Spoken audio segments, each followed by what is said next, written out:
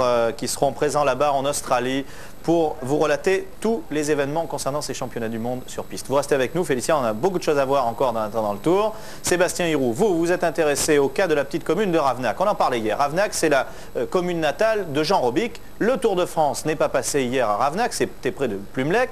Alors, un, pourquoi? Et euh, est-ce qu'on a un petit peu rattrapé les choses, si j'ose dire euh, Oui et non. Alors, il y a 50 ans... C'est une réponse de Normand. Oui. Hier, j'étais breton, aujourd'hui, je suis normand. Demain, je serai peut-être suédois. Euh, donc, il y a 50 ans, Jean Robic gagnait le, Tour de France, son Tour de France.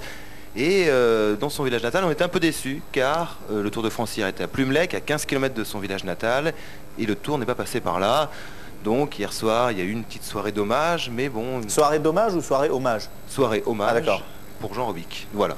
Il y avait Maurice Quentin, tous ses coéquipiers, tout, tout le monde. On va aller voir dans le sujet tout de suite. Et, euh, mais c'était quand même un peu déçu. Quoi. Je vous laisse découvrir ce sujet tout de suite. Bon, ben on y va.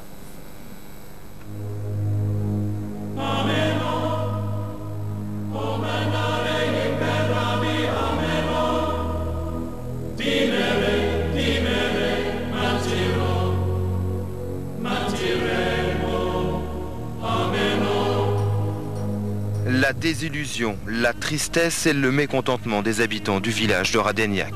L'hiver dernier, Jean-Marie Leblanc dévoile le parcours du Tour 97. Le peloton ne passera pas par le village de Jean Robic. Pourtant, il n'est qu'à 15 km de Plumelec, ville de départ et d'arrivée. Dans la cité de Biquet, on est bien sûr consterné et on ne comprend pas.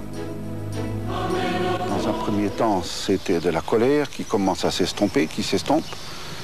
Et maintenant, c'est un sentiment de quelque part d'humiliation et de, un petit peu de, le mot est peut-être fort, mais de, honte à l'égard de la mémoire de Jean Robic.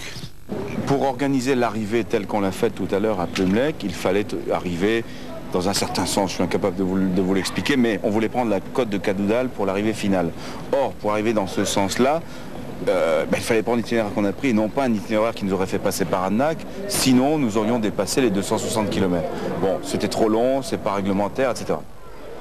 Malgré leur tristesse, les Radénacos ont fêté hier soir leur champion.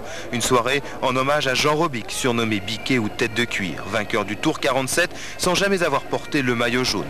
Des films d'époque sont diffusés dans la salle où sont installés au premier rang ses anciens coéquipiers ou adversaires qui se souviennent. Avec moi, il était très gentil, on a toujours, été, on a toujours eu de bons rapports. Et avec les autres coureurs, euh, vous savez, tout le monde était très ami avec lui.